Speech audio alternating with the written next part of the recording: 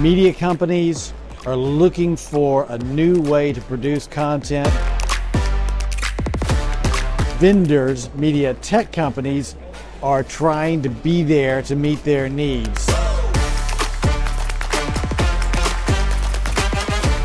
Live video has arrived at latakoo. Could not be more excited.